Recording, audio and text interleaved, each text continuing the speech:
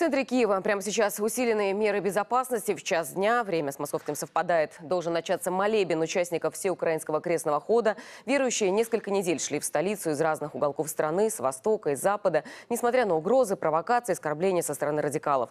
Сегодня же паломники должны все вместе помолиться за мир на Украине в Киево-Печерской лавре. Что сейчас происходит в городе, рассчитываем узнать у нашего корреспондента Алены Германовой. Она выходит на прямую связь со студией. Алена, какая у вас обстановка и можно ли ждать провокаций? Алена, торжественный молебен на Владимирской горке здесь, в Киеве, должен начаться только через час, но тысячи верующих уже там, еще тысячи паломников сейчас проходят зону досмотра после многочисленных провокаций в отношении участников крестного хода, которые три недели шли с запада и востока страны в столицу.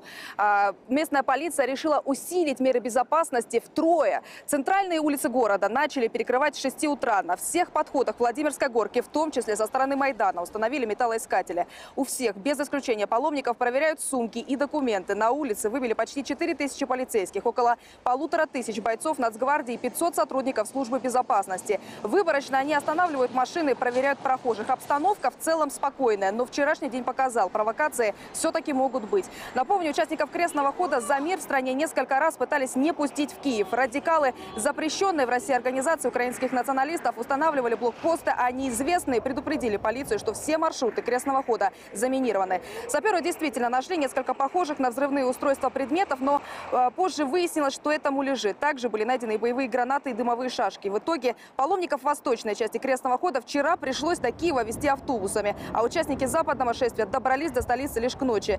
Сегодня всех их привезут на Владимирскую горку централизованно на автобусах. Отмечу, что помимо участников всеукраинского крестного хода в Киев приехали тысячи других паломников. Хотели попасть сюда и верующие из Одессы, но накануне в Одесскую епархию стали поступать угрозы. Активисты так называемые называемого автомайдана угрожали взорвать автобусы с паломниками. Также предупреждения поступали и в адрес автоперевозчиков. Вчера в 10 часов вечера в Одессе должна была отправиться в Киев колонна автобусов с паломниками, которые должны были прибыть на всеукраинский крестный ход.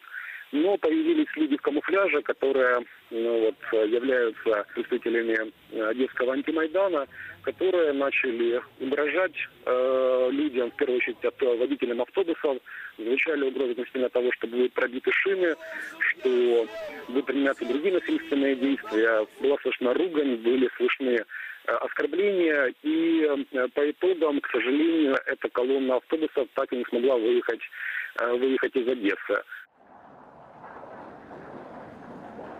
Всю последнюю неделю руководители МВД и СБУ неоднократно обращались ко всем радикальным организациям с просьбой не устраивать провокаций. По прогнозам, сегодня в Киеве в шествии от Владимирской горки до Киева-Печерской лавры примут участие около 30 тысяч человек. Завершится крестный ход на площади рядом с Успенским собором, где пройдет торжественное богослужение в честь Дня крещения Руси и святого князя Владимира. Памятная дата, напомню, отмечается завтра. Известно, что поздравить украинских православных сюда в Киев приехала делегация со Святой горы Афон, греческий монахи также примут участие в шествии. С собой в дар они привезли две чудотворные иконы, приложиться к которым сегодня смогут все желающие. Алена.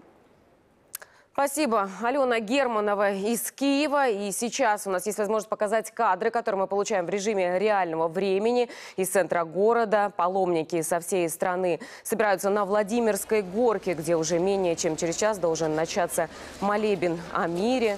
Напомню, что все проходит при усиленных мерах безопасности. Пока еще не все прошли через рамки металлоискателей. Вот люди несут таблички с названиями городов, откуда они приехали.